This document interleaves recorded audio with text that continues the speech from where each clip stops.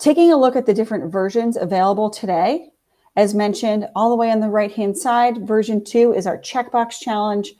This, this version actually caps out at 1 million assessment calls per month um, and is, is reserved really for rudimentary use cases.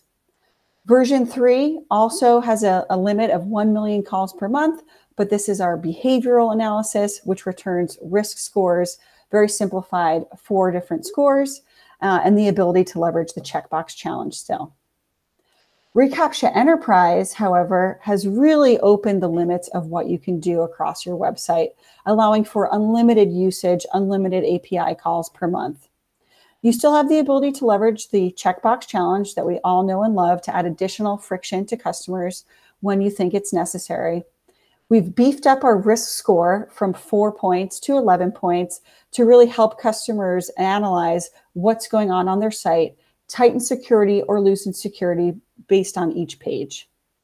Along with risk score, we allow for a risk code, which really tells customers why we're scoring um, the end user as such. We're allowing for machine learning model tuning, which is very exciting. If you're seeing any anomalies or false positives in the scores that we're returning to you, you can send that data back to our engineering team, and then we can help retune the model specific to your site and your needs.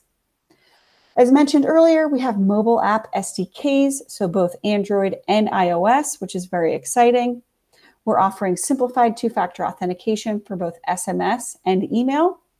We've enabled password leak detection, which helps alert your end customers if their user credentials, both password and username, have been compromised on other sites. We're now offering an SLA and SLO of 99.9%. And now that we're part of Google Cloud, we have GCP terms and conditions that we can offer as well. So as you can see, the enterprise functionality is far and beyond version two and version three, and we're very excited to offer a simplified migration path for you today.